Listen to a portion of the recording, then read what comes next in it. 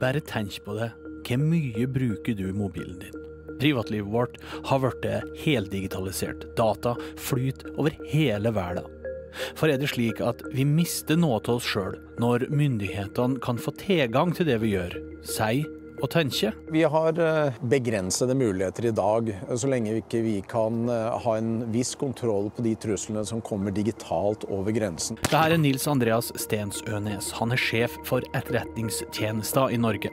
Fra hovedkvarteret på Lutvann og andre plasser i Norge er det dommers jobb å få et bilde over truslene mot Norge. Ja, det er jo et veldig komplekst og sammensatt uh, trusselbilde. Du har alt fra Russland uh, til fremveksten av Kina. Vi har Iran, Nord-Korea, internasjonal terrorisme og uroen rundt omkring i verden. Det å uh, forstå bredden i det og se hvordan det treffer Norge, det er stadig mer komplekst og mer utfordrende. Fra 1.10 i år fikk Etterretningstjenesten i Norge tilgang til å speile data for å finne både kjente, men òg ukjente trusler.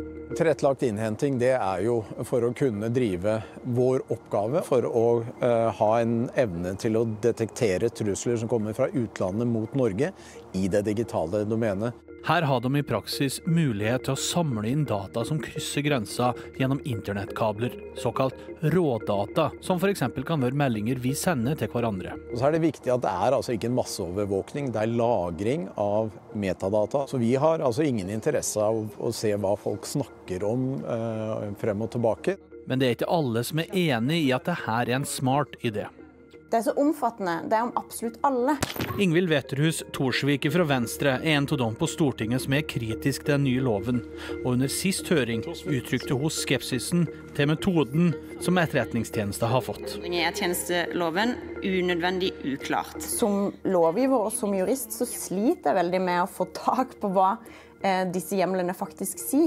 Eh, og jo mer inngripende noe er, jo større skal jo kravet til klarhet være, nettopp for at du skal ha en forutberegnelighet for hva du kan vente deg. Men noe sein.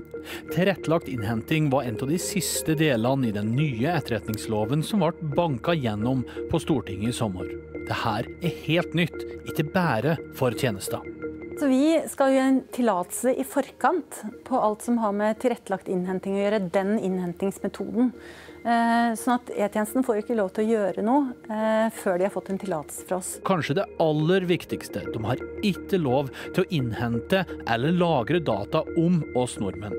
Det skal Stortingets kontrollorgan passe på. Noe av det første som må skje, det er at all kommunikasjon som går mellom norske brukere, det skal filtreres bort. Det blir et viktig kontrollpunkt for oss at det faktisk skjer.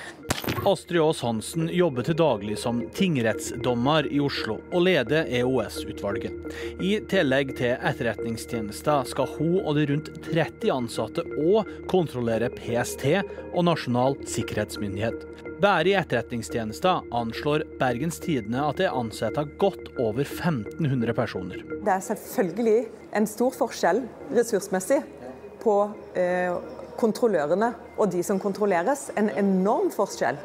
Men det er flere kritiske røster til den nye lova. De mener spesielt at etterretningstjenestens enorme mengder data lagra over tid er problematisk. Vi skjønner ikke helt hvordan de har tenkt at det skal fungere.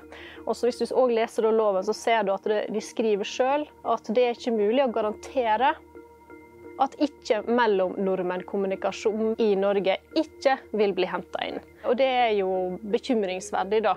For Etterretningstjenesten forteller at de har en automatisk sletting på lagra metadata etter 18 måneder.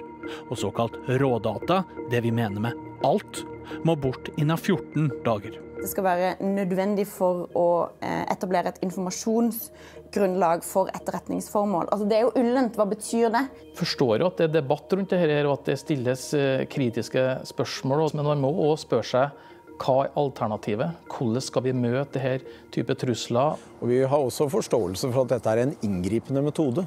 Men som alle etterretningsfunksjoner så går det mellom eh, avveiningen mellom disse inngrepne metodene og behovet for å eh, beskytte norske interesser. OK, den kjøper jeg.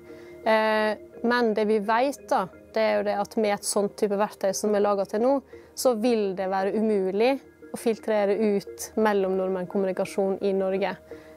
Er det, er det verdt å ofre privatlivet for at en kanskje skal oppdage en ukjent trussel?